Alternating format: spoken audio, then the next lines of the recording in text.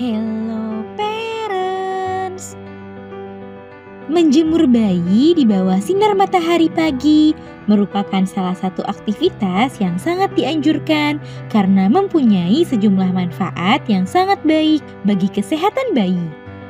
Salah satu manfaatnya adalah bayi mendapatkan tambahan vitamin D secara alami yang berperan penting dalam penyerapan kalsium, pertumbuhan tulang dan gigi, serta meningkatkan sistem daya tahan tubuhnya. Namun saat menjemur bayi tidak boleh dilakukan secara sembarangan. Parents perlu mengetahui aturan saat menjemur bayi di bawah sinar matahari pagi. Kira-kira apa saja ya aturan yang perlu diketahui saat menjemur bayi? Yuk kita bahas parents. Eh sebelum dimulai, jangan lupa support channel ini dengan cara klik tombol subscribe yang ada di bawah agar dunia parenting semakin semangat menyampaikan informasi yang bermanfaat. Nyalakan juga tombol loncengnya ya, agar tidak ketinggalan pembahasan-pembahasan seputar pengasuhan selanjutnya. 1. Gunakan pakaian. Masih banyak orang tua yang menanggalkan seluruh pakaian bayi saat sedang menjemurnya. Padahal kebiasaan tersebut kurang tepat karena bayi memiliki kulit yang sangat sensitif, khususnya bayi yang berusia di bawah 6 bulan. Sebaiknya saat menjemur, bayi tetap mengenakan pakaian yang tipis untuk menghindari resiko kulitnya iritasi atau terbakar. Selain itu, pastikan bayi tidak menatap sinar matahari secara langsung. 2.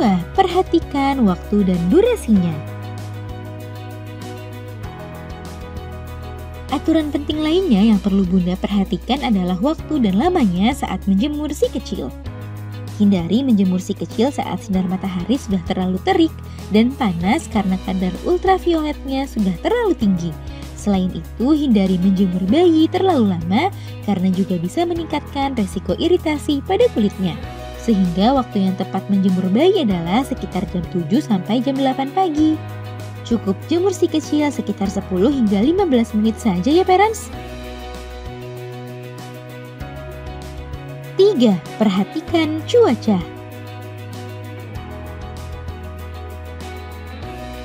Selain waktunya, parents juga perlu memperhatikan cuaca di tempat parents masing-masing. Jika cuaca tampak mendung dan berangin, sebaiknya tunda waktu menjemurnya, sebab kondisi cuaca yang berangin kurang baik bagi kesehatan si kecil. Selain itu, pilihlah lokasi menjemur yang kondusif dan tidak terlalu bising agar bayi tetap merasa aman dan nyaman. 4. Hindari paparan sinar langsung ke mata. Paparan sinar matahari secara langsung merupakan salah satu hal yang berbahaya bagi mata si kecil, sebab hal tersebut bisa merusak retinanya dan beresiko menyebabkan si kecil mengalami gangguan penglihatan di kemudian hari. Oleh sebab itu, saat menjemur si kecil, pastikan bayi tidak melihat sinar matahari secara langsung. Parents bisa mengenakan topi atau pelindung mata pada si kecil saat sedang menjemurnya agar si kecil tetap aman dan nyaman. 5. Berikan ASI atau sufor setelah selesai berjemur. Menjemur memang merupakan aktivitas bermanfaat yang baik bagi kesehatannya. Namun aktivitas ini juga dapat menyerap cairan tubuh si kecil sehingga bayi perlu diberikan ASI atau sufor setelah berjemur untuk menggantikan cairan tubuhnya yang hilang. Hal ini juga bermanfaat untuk mencegah si kecil dari bahaya dehidrasi yang bisa membahayakan kesehatannya.